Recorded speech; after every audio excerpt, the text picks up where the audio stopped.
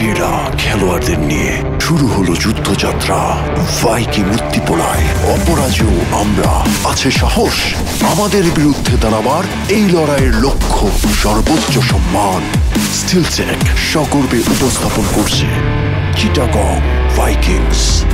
স্টিলচেক